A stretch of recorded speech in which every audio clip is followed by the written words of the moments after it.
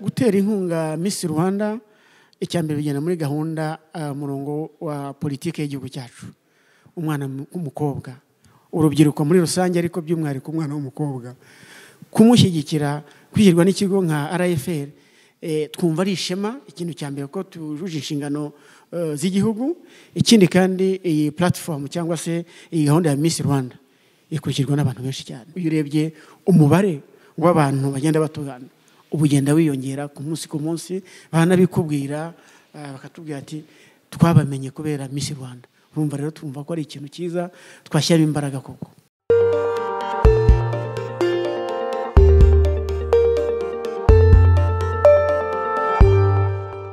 Turasuje abakunzi ba nyarwanda tv twizere ko aho muri muri amahoro. Uyu munsi twasuye rwanda forensic laboratory cyangwa se rfr ni cyo kigo eh, nibo bateye inkunga irushanwa rya miss rwanda ni mu baterankunga bakuru. Uyu munsi kujyana ikiganiro na dr. Charles karangwa ni umuyobozi wa rfr atubwire byinshi birambuye ku mpamvu bifuje gutera inkunga miss rwanda ariko se ubundi serivisi za rfr ni izi? Umwanya ni uwawe rero kugira ngo uze gukurikirana icyo kiganiro utaciwe. Tuguhaye ikaze mu kiganiro tugiye kujyana na dr. Charles karangwa.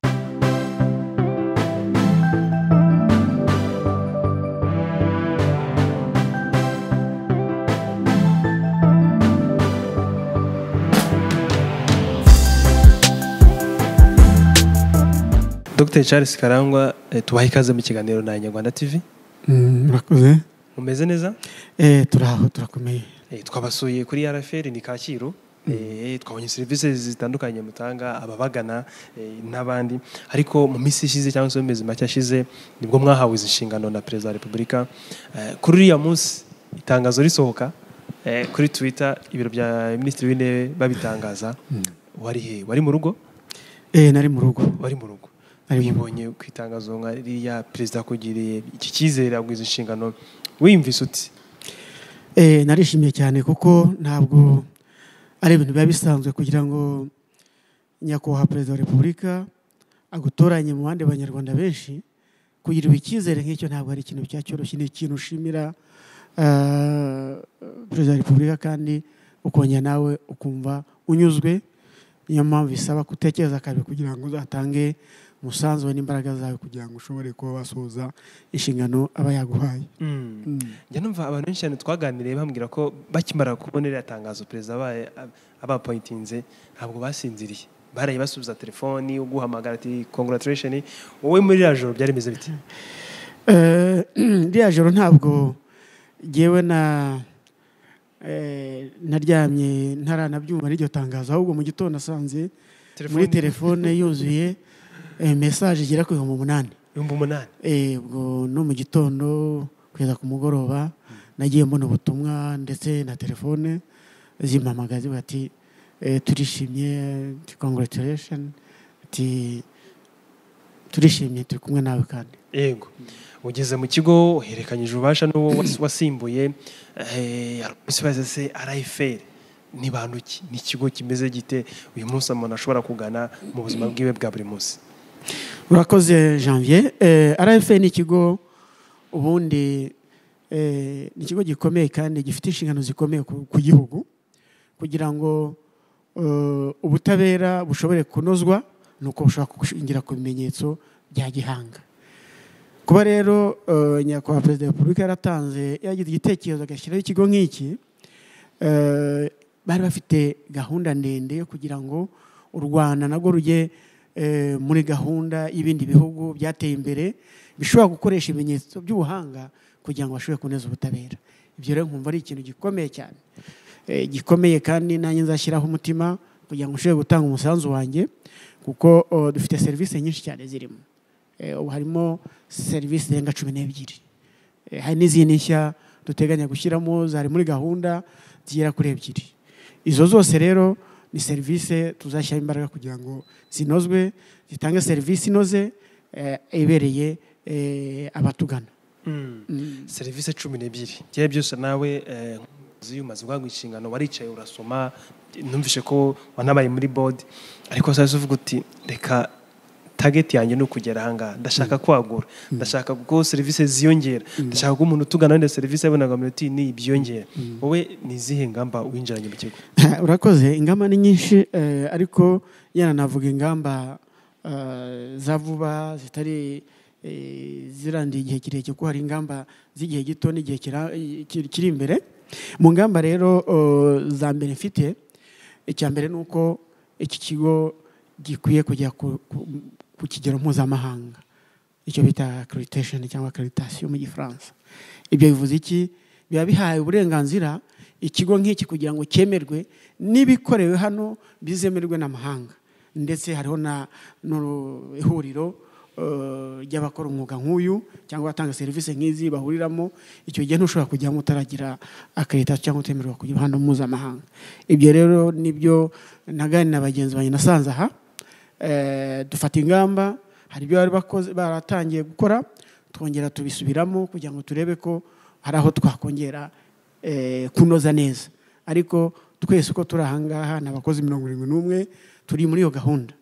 Eh, ikindi ni uko eh, burya eh, ibigo nk'ibi bitangiye bitanga za serivisi zo muri laboratwari ariko zikageraho zigakura zikagura amarembo zikajya no kuba zatanga amahugurwa.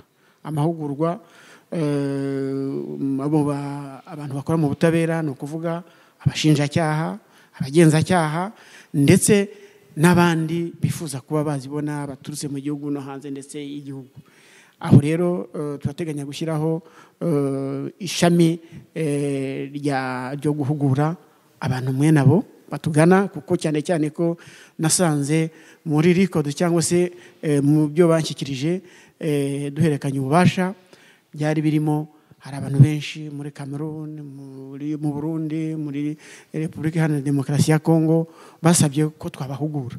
Ariko eh, laboratwari ntabwo yari yiteguye ku buryo ishobora kwakira abo bantu.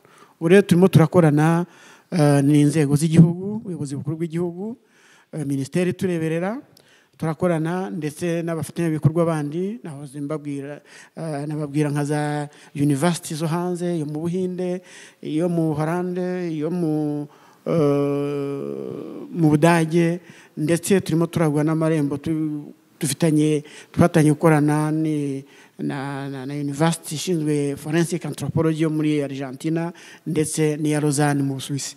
Abo bose rero nibo tuzakorana kugira ngo n'ayo mahugurwa tuyakorane ajye ku rwego rushimishije. Yego. Ah, murakoze cyane. Ndumvamo serivisi cumi n'ebyiri maze iminsi mbona ko eh, cyangwa se kuva mwatangira mushyize imbere cyane ku kwamamaza serivisi mutanga ku baturage ku nzego z'umutekano n'abandi. Noneho kuri ino nshuro eh, mwanegereye Miss Rwanda. Eh, mutera inkunga. Kugira ngo na wa mwana w'umukobwa n'urubyiruko n'abandi babyitabira babashe kumenya ko RFL ihari. Ariko umuntu yakibaza kuki mwateye inkunga Miss Rwanda? Ah, urakoze ni ikibazo cyiza. Ah, gutera inkunga Miss Rwanda icya mbere bigenda muri gahunda ah, murongo wa politiki y'igihugu cyacu. Umwana mu- w'umukobwa. Urubyiruko muri rusange ariko by'umwihariko umwana w'umukobwa. Kumushyigikira kwishyirwa n'ikigo nka RFL eh, twumva ari ishema ikintu cya mbere ko tujuje inshingano eh, z'igihugu ikindi kandi iyi platform cyangwa se iyi gahunda ya Miss Rwanda ikurikirwa n'abantu benshi cyane. Abantu benshi cyane ku buryo eh, twaciye no muri iyo muyoboro kugira ngo dushobore kumenyekanisha serivisi zacu. Byagiye bigaragara muri za televiziyo mu biganiro bitandukanye ko rwanda forensic laboratory yagiye igaragara. Ubwo rero ni umwanya natwe kugira ngo eh, tugaragaze tu- dukangurire abanyarwanda kutugana. Kandi koko tugenda tubona ko byatanze umusaruro. Iyo urebye umubare w'abantu bagenda batugana uba ugenda wiyongera ku munsi ku munsi. Baranabikubwira ah, bakatubwira ati twabamenye kubera Miss Rwanda. Urumva rero twumva ko ari ikintu cyiza twashyiramo imbaraga koko. Na- ni ku nshuro ya cumi na kabiri. Ah, Miss Rwanda irimo iraba. Eh, nk'ubuyobozi eh, gutera inkunga Miss Rwanda niyo mpamvu visibility ariko n'umwana w'umukobwa mu mushyigikire mu iterambere. Ariko se ni uwuhe musanzu mubona eh, irushanwa rimaze gutanga? Ah, ryatanze umusanzu ukomeye cyane. Buriya urubyiruko nizo mbaraga z'u rwanda. Iyo rero ikintu giciye mu rubyiruko kigira gifata ireme ry'umwihariko cyane cyane noneho umwana w'umukobwa iyo urebye ukuntu mu gihugu cyacu umwana w'umukobwa agenda ajya ku isonga uh, kwihangira imirimo uh, kwigira uh, kumva ko atazahora ategereje akava hirya aho katava imuhana ahubwo akumva ko nawe ashobora kuzagera igihe akumva ko ari umukobwa w'umunyarwandakazi ushoboye kwihangira umurimo ushoboye kuba yavuga ati nanjye nihagazeho. Ubwo rero eh, byaranagaragaye nk'uko nari kubivuga uyu munsi umubare w'abatugana wikubye inshuro ebyiri. Kandi abantu baza batubwira ati rwose sinari nzi n'aho mukora sinari nzi eh, n'iki kigo kibaho. Ariko twayobenye muri iyo gahunda iyi platform na yo muri iki platform nkabona eh, bavuga ah, Rwanda Forensic Laboratory eh, bituma ngira amatsiko yo kugira ngo nyimenye neza menye naho mukorera. Ikindi kandi nakongeraho ni uko urebye nka gahunda ya Miss Rwanda.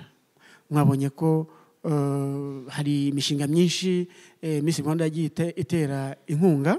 Hari aho berehera amashuri hari abo bafasha mu bindi bikorwa kwihangira imirimo kwihangira ibyo bintu byose. Ni ibyishimo bikomeye kuba twaraciye muri iyo nzira muri iyo platform. Aho Miss Rwanda yageze eh, nagiye mbona ibyapa byanyu bamamaza eh, nk'umuterankunga mukuru eh, nabonye website yanyu website yanyu igaragaza aho mukorera serivisi n'ibindi. Ariko nk'umwana w'umukobwa wenda uhatanye muri Miss Rwanda ashobora kwibaza se buriya RFR nta serivisi ntakenerayo. Nta serivisi uyu mwana w'umukobwa yabakeneraho. Urakoze janvier. Nibyo koko? Eh, ni ibintu byaganirwaho. Eh, abashyira mm, cyangwa abafite gahunda ya Miss Rwanda babibonye ko ari ngombwa. Hari serivisi mu zo dutanga yabafasha nko kugira ngo muzi ko urubyiruko cyane cyane eh, simvuze mvuze muri rusange ku isi eh, urubyiruko rugenda rubatwa eh, n'ibiyobyabwenge. Eh, muri gahunda rero ya Miss Rwanda twabiganira n'abashinzwe kuyorganiza tukaba mbere y'uko o, abantu bajya muri Miss Rwanda babanza tukabafasha eh, kugira ngo tubapime ko nta nta biyobyabwenge bafite mu maraso yabo kugira ngo bakore imirimo bumva ko bayikoresheje n'ubwenge bwabo n'uko baremwe. Ikindi buriya iyo urebye eh, nka Miss Rwanda platform ikurikirwa n'abantu benshi cyane. Ijuru rwabo rigera kure. Ni rinini. Ku buryo uretse n'imiryango bavamo eh, n'ababakurikira bakamenya serivisi zacu byatuma bagana eh, serivisi z'umwihariko gupimisha ADN cyangwa se eh, abafashwe ku ngufu mu miryango yabo ku buryo twashobora kubaha iyo serivisi eh, bikaba byatuma ah, tugabanya ibyaha bishingiye gufatwa ku ngufu n'ibindi n'ibindi. Ariko dufite serivisi nyinshi zishobora gutangwa biciye eh, mu imekanisha eh, rikoreshejwe eh, iyo channel cyangwa se iyo platform ya Miss Rwanda. Ugarutse kuri serivisi mutanga uvugamo na serivisi yo gupima ADN nabonye abantu benshi bibaza se birashoboka ko umugabo cyangwa se umugabo yaza wenyine gupimisha icyo kizamini cya ADN biremewe? Mubigenza gute? Yego hari ubundi ibikorwa hano byose bifite uko bikorwa bifite gahunda ziba zanditse. Ni ukuvuga ko tugenda ku bipimo mpuzamahanga ubundi eh, ADN serivisi ya ADN ihabwa umuntu wese ubishaka. Ariko eh, kubera impamvu z'umuryango ntabwo umunsi ushobora kugira ngo ufate umwana wawe umuze hano tubapime kuko icyo gihe ahubwo ho gukemura ibibazo by'amakimbirane mu muryango tuba tuyateje. Kuko eh, umwana mu itegeko ry'u rwanda eh, icyo bita umwana biyorojike wavukiye mu muryango ni umuntu waha- wahakuriye. Ni umuntu warezwe n'uwo muryango. Bivuge ko rero icyo gihe eh, hari nk'uwacishe ku ruhande akaba yaramubyaye byaba biteje amakimbirane atari ngombwa niyo mpamvu bisaba ko uko ari babiri ndetse bemeranya ubwabo bakaza bak- ba- mbere yo kubisinyira bagahugurwa bakaganirizwa bakiyemerera ubwabo ko bagiye gukoresha icyo kizamini. Ndetse eh, hari abajya baza twamara kubaganiza kandi baba bafashe gahunda yo kugira ngo bipimishe bakavuga ati tugiye gusubira mu rugo tubanze tubitekerezeho. Ubwo rero ntabwo twaba intanda yo gutanga imiryango ahubwo eh, twatanga serivisi ituma imiryango yegerana. Mm. ese ubwo icyo kizamini gihagaze angahe Eh, ikizamini ubu kiza ku mafaranga make ni ibihumbi mirongo inani n'icyenda ku muntu umwe. Eh, kandi icyo gihe tugikoresha hanze byageraga ku madolari eh, cyangwa amayero igihumbi. Ni ukuvuga miliyoni y'amanyarwanda. Urumva ko yo kujyayo. Byari biri kumwe byose. Biri Ah, ni ukuvuga twabikorereje. Twabikoreye utagiye wowe. Hagiye itike y'indege ubwo yari kwiyongeraho. Yego. Mm. hanyuma eh, mutekereza iki noneho ku kuba eh, nk'umwe mu bakobwa bahatanye muri Miss Rwanda mwamugira ambasaderi cyangwa se yabafasha mu kumenyekanisha serivisi zanyu icyo ni igitekerezo cyiza eh, cyakomeza kunonosorwa kikaganirwaho Eh, ariko n'ubundi dusanzwe dukoresha aba Miss Rwanda Miss Jolie mwaramubonye mu bukangurambaga bwacu ndetse n'abandi bagiye bagaragaza abahanzi mwarababonye bagiye bagaragaza eh, eh, ibikorwa bya RFL Eh, numva rero n'icyo twakomeza tukakinoza tukakiganiraho eh, cyane cyane ko atari igitekerezo cyiza kizaba kije ahubwo dusanzwe tunabikora. Ni ibintu byiza. Yego. Mm. Eh, turimo turagana ku musozo. Eh, kuva mu bageze mu ntara eh, zose uko ari enye bagera no muri kigali bashakisha umukobwa uzavamo Miss. Mm. Eh, nka rayiferi mwarakurikiranye mwagendanye nabo muri eh, urwo rugendo. Mwishimira iki? Hanagira ngo rwose ahubwo mbivuge nemanze kuko ni ikintu gikomeye cyane. Kuva twatangiye gukorana na Miss Rwanda twagiye tubona abantu benshi bagiye batugana bavuga ko batumenye kubera iyi gahunda ya Miss Rwanda. Hariho abashinzwe kubakira mbere yo umuntu tumuha serivisi ubundi tubanza kumuganiriza.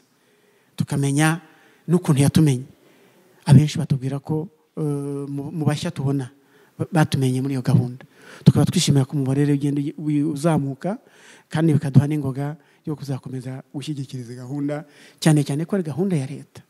Gahunda ya leta eh, ituma umwana w'umunyarwanda atinyuka akigira akumva ko yarenga eh, kwa kuntu yari asanze ati umukobwa w'umunyarwanda tuba dusanzwe tumuzi ahubwo agashaka kujya no, gufungura amarembo agahesha ishema igihugu cyacu.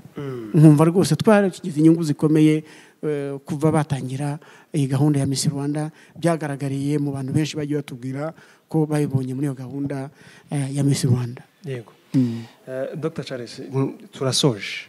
Ariko se ni ubuhe butumwa mwagenera abana rayiferi cyangwa n'ababonye kino kiganiro ku Nyarwanda TV nk'uko bivuga ko binyuze muri Miss Rwanda hari benshi baje kubera visibility. Eh, niki ni ubuhe butumwa wagenera abantu bagana rayiferi Eh, ubutumwa bw'umwihariko eh, nabanza gutanga no gushimira ubuyobozi bukuru bw'igihugu cyacu. Bwashyizeho gahunda bakayegereza abanyarwanda n'abaturarwanda n'abasura u rwanda. Ni ikintu gikomeye cyane. Iyo serivisi rero igihugu cyacu cyadushyiriyeho tugiye kubibyaza umusaruro. Nibatugane tubakemura ibibazo. Yaba ari inzego za leta ntabwo dukorera gusa dukorera n'abikorera ku giti cyabo ndetse n'abantu ku giti cyabo. Dutanga serivisi zitandukanye abashaka batugana bakajya kuri website ya ya www rfl akadomo gov akadomo ah, eh, rwa. Hariho amakuru yose atandukanye eh, agaragaza ikigo giha- gihagaze ariko icyo nababwira ni uko eh, turimo turashyira imbaraga kugira ngo tunoze eh, serivisi dutanga nk'ubu twamaze guhuza serivisi zose uko ari cumi n'ebyiri ku murongo umwe. Ariyo rim laboratory information management turi muri gahunda rero yo gukomeza kwegera abafatanyabikorwa bacu kugira ngo tubigishe uko bazajya bayikoresha haba mu biganiro haba kuri telefone haba mu mahugurwa tuzajya tubatumiramo. Rero turabararitse kugira ngo eh, batugane ndetse dushobore kubafasha kumenya gukoresha eh, za mudasobwa bakoresha bagana serivisi zacu. Tubashaka korohereza umuntu utugana kugira ngo ibisubizo ajya abibona yicaye iwabo. At- niba uri rusizi waravunitse ukazana eh, shantiyo cyangwa sampo hano? Ntabwo ukwiye kongera kuvunika ugaruka kuza gufata eh, eh, ibyavuyemo. Ahubwo ibyo bisubizo ajya ubona wicaye eh, uko usaba ikizamini. Wuzuza igipapuro usabiraho ibizamini. Tuhita tuguha kode muri iyo sisiteme ya, RIMS cyangwa Laboratory Information Management. Iyo sisiteme iguha kode ariyo uzajya ukoresha mu gukurikirana ibisubizo byawe igihe bizabonekera n'aho bigeze. Ukagenda ubibona ibyo rero tukumva ari ibintu twakangurira abanyarwanda ndetse n'abatwumva nabo dukurikiranye eh, ko eh, turi muri gahunda yo kugira ngo tubibasobanurire tubahugurire uburyo bazaba bakoresha iyo serivisi kugira ngo boroshye eh, bagabanure imvune bajyaga babona ba- batelefona baza hano kubaza. Umushinjacyaha umugenzacyaha aho ari hose ntabwo azasubira kuvunika aza gushakisha ibyangombwa hano ahubwo azajya abira kuri mudasobwa ye agisohore agikoreshe murakoze ah, reka mbarize umuturage uri bweye cyangwa se uri nasho muri kire ashobora kuvuga ati si ubwo wenda jyewe sinkoresha interineti uko kujya muri sisiteme simbizi ariko se hari nimero ihari nahamagaraho bakamfasha yego irahari hari umurongo utishyurwa ikigo cyashyizeho kandi ushobora uh, ushobora kubona amakuru igihe cyose eh, kugeza saa sita y'ijoro ni kane gatandatu gatatu gatandatu. Ni umurongo utishyurwa ni umurongo iyo uhamagaye eh, ubona amakuru yose ushaka iyo udafite ubushobozi bwo kujya kuri za mudasobwa kugira ngo urebe ibiri kuri mudasobwa uraduhamagara ndawusubiramo ni kane gatandatu gatatu gatandatu ushobora kwitaba kugeza saa sita y'ijoro ukabona amakuru yose ushaka. Yego. Ah, reka dushimire dr. Charles ni umuyobozi wa rfr nizere ko ikiganiro tugiranye ari byinshi abantu bungukiyemo. Nyaboneka niba uri ahantu runaka utabasha wenda kubanza interineti umwanya uwo kugira ngo uhamagare kuri kane gatandatu gatatu gatandatu baguhe ubufasha cyangwa se na serivisi zose waba ukeneye muri rfr dr. Charles turabashimiye ku kiganiro cyiza tugiranye Eh, turabashimiye namwe murakoze cyane.